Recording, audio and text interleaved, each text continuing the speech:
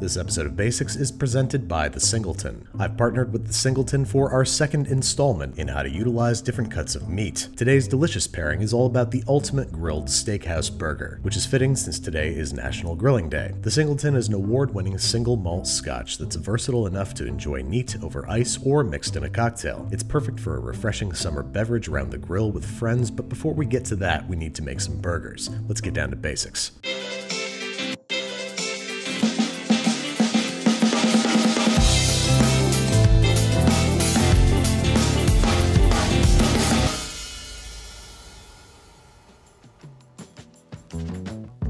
So in pursuit of the ultimate steakhouse burger, we must start with the ultimate steakhouse burger bun. I'm starting off by combining 500 grams of bread flour, 7 grams instant yeast, 25 grams sugar, and 10 grams kosher salt in the bowl of a stand mixer, tiny whisking to combine, then adding 100 grams of whole milk and 200 grams of water, both heated to a tepid 85 degrees Fahrenheit. Affix dough hooks and get to kneading, just until the dough starts to come together and no dry spots remain. Then, one little piece at a time, we're adding 85 grams of very soft unsalted butter, making sure that each piece is fully emulsified into the dough before adding the next. This is going to give our buns a rich brioche-like quality. After kneading for 5 or 6 minutes after the last piece of butter is added, you should end up with a soft, springy, silky dough that passes the window pane test with flying colors, and is ready to be rolled into a smooth taut ball, plopped back into the bowl from whence it came, maybe give it a little toss in the air for good for good luck, plopped in the bowl and covered with a plate where it's going to rise at room temperature for 1 hour until doubled in size. Now it is ready to be shaped into burger buns. This dough plays nicest on a well-oiled countertop, so go ahead and hit your work surface with a little bit of neutral flavored oil like vegetable or canola. And since we want six identical buns, we're going to weigh the whole batch of dough,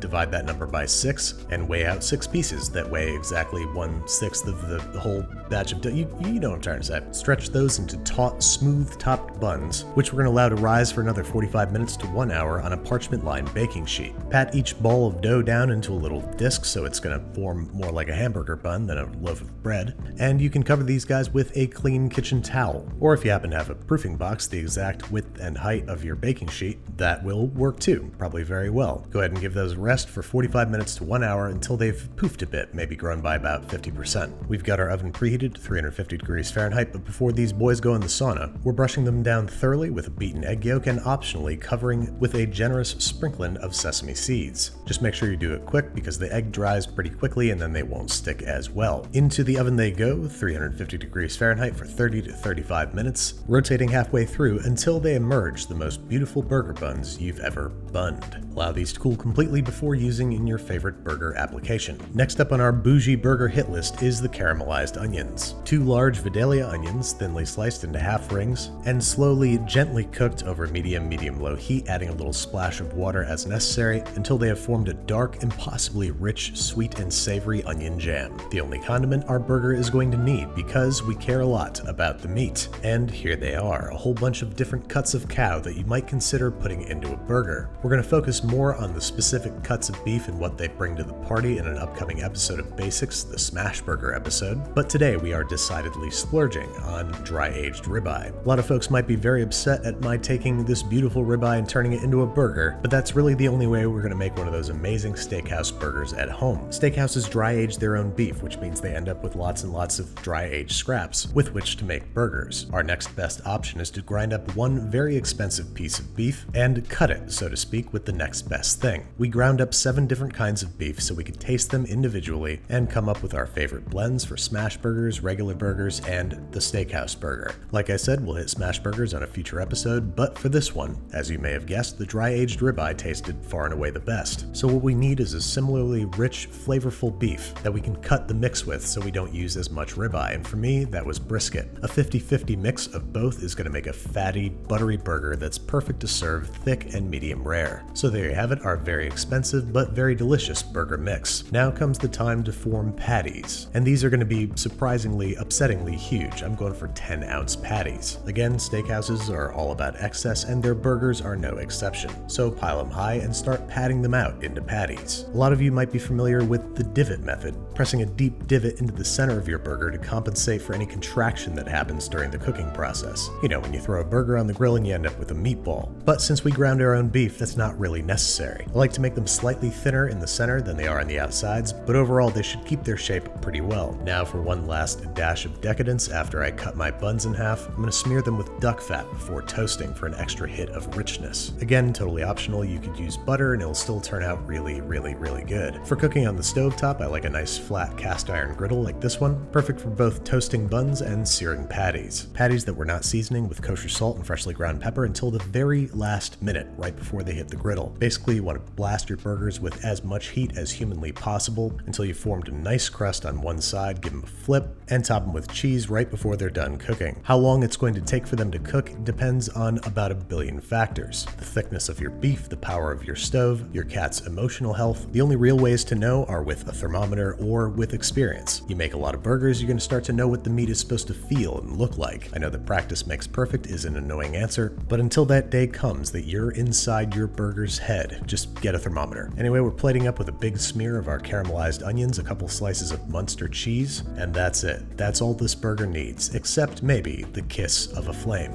If you want to do this out on your grill, the rules are pretty much the same. Season generously with kosher salt and freshly ground black pepper right before plopping on the hottest part of your grill. I like to keep my two left burners on full blast and my two right burners on medium-low flame. This gives you a nice hot place to sear the exterior of the burger and a cooler place where you can slowly cook it if you want to bring it up to temp and or toast your buns. Is this better than an indoor burger? Yeah, kinda. Mostly because you're not filling your kitchen with a cloud of smoke. But however you cook it, this ended up being the most delicious burger I've ever had. You might be wondering why I'm not loading it up with condiments and vegetables, and that's because this burger puts the emphasis on the beef. Munster is a very mild cheese that's adding texture more than anything else, and the caramelized onions only serve to add unctuousness to the juicy, beefy, beefy beef. In fact, all this burger really needs now is a bold, refreshing cocktail. One I'm gonna call the Rosemary's Babby. This starts fittingly enough with a sprig of rosemary being placed into a chilled coupe glass, over which we're gonna pour a quarter ounce of absinthe or chartreuse. Set that aside, and then in a cocktail shaker with ice, we are combining one and a quarter ounces of the Singleton 12, three quarters of an ounce of freshly squeezed lemon juice, and half an ounce of simple syrup. We're then going to shake rigorously for about 30 seconds. This chills, aerates, and lightly dilutes the cocktail. But before we strain it out, we're going to very carefully torch our rosemary. You don't have to use absinthe in this cocktail, but make sure you use something high proof enough that it sets our herbs alight. If a high proof spirit isn't available, you can always use dried rosemary and just torch it. Let that burn for a few seconds to get a nice smoky flavor, and then extinguish it with the strained contents of our shaker. And there you have it, the Rosemary's Babby, a smoky, punchy cocktail perfect for summer grilling,